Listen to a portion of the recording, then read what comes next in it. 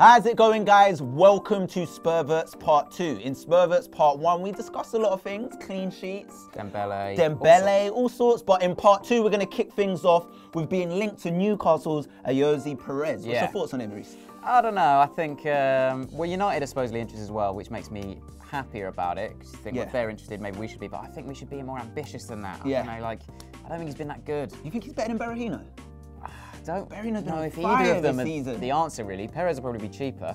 Um, he's sort of nippy. He's so small, Mm. um, and he's got a good touch, and he can fit. But he doesn't. I mean, maybe it's just he's playing for Newcastle that I don't think he's been that good. I think it's more of one of those things where we don't have a second out and out striker. We, yeah. need a We like, do we need, a striker. So if it's if it's Perez or nothing, then obviously I'll take Perez. But I just think for the, maybe the right amount, or and if it isn't the right amount, then we need to be million. aiming higher. 10 million. 10 million or you're not interested? No more. 12 at a push. At a push. Yeah, and that is how Levy does it. Oh yeah, you've learned. Immediately goes up 2 million out of Oh, nowhere. oh, Not oh. even questioned. He should release a book about that. Yeah, he should. Yeah. And he'll charge maybe, 100 Business 101. Love that. All right. Also, we're going to talk about the run of games coming up. So Yeah. we've got Anderlecht coming up in the uh, Europa. We've got Bournemouth. We've got Villa at home. That's Clash with. Tim Sherwood. Yeah, Yes. but, yeah, but the thing is, Tim Sherwood always wants to prove a point. Tim Sherwood will have been sacked by then.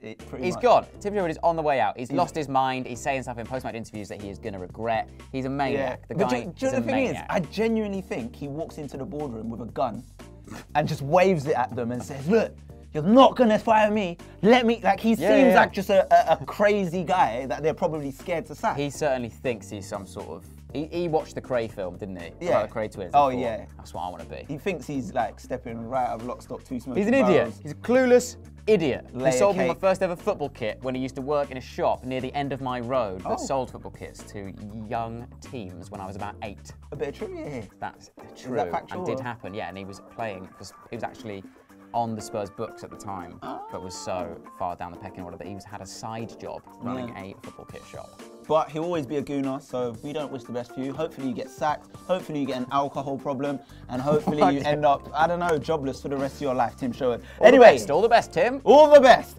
Uh, finally, Robbie Keane scored a belter, a Oh. For LA Galaxy. Have you seen the goal? Yeah, I have. Have you? No.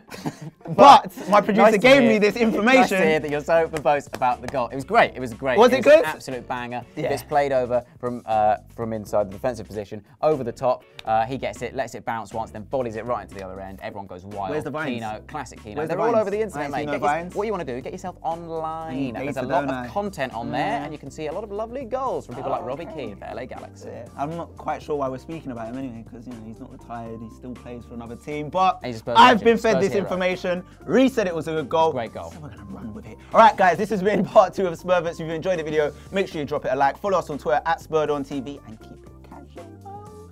Bournemouth got a man going to A&E because someone's glued a football to his head. As you can see, the Arsenal logo is a piece of